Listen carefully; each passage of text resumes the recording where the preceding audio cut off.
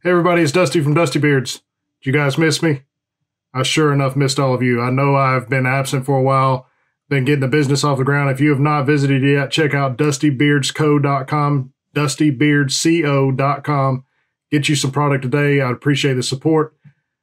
Today we're going to talk about winter and the effect it can have on your beard.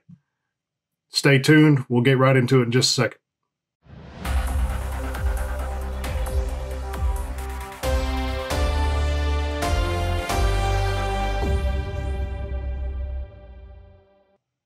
All right, everybody, welcome back. Please, if you have not already, hit that like button, subscribe, hit the little bell, click all. Make sure you're getting all of my videos as soon as they post, my lives, everything. I'd greatly appreciate it.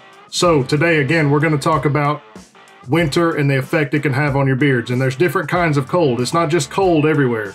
You have humidity effects, you have non humidity effects, you have just straight cold, you have heat. Everybody's winter is different. So we're going to cover it all today. First, in the wintertime, the biggest threat your beard has is it getting too cold, you staying out in it too long, your pores close up, it prevents hair growth. Not only does it dry it out, but it prevents the growth of the hair. So if you think about closing a door, you can't walk through it, it's closed. So the hair can't grow if the follicles in your pores close up and keep it from growing out. So you've got to make sure you're you're staying warm um, you got to make sure you're keeping your beard hydrated. That's the other part of it.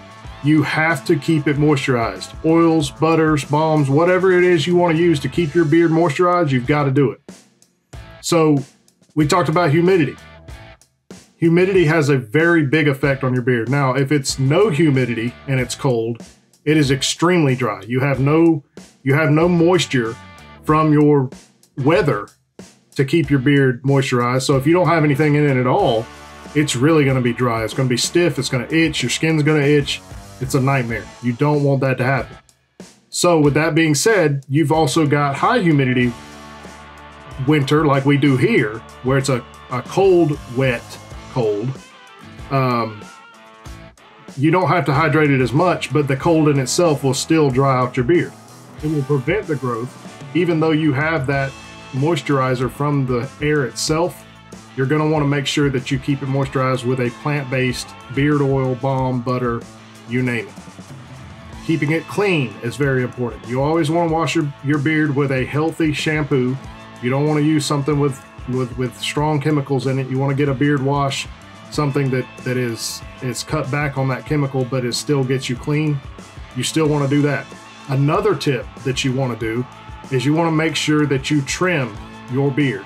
Yes, trim your beard. I didn't say cut it off. I didn't say cut it down to an inch or two inches. You want to take those split ends off because if you have split end, the hair is damaged.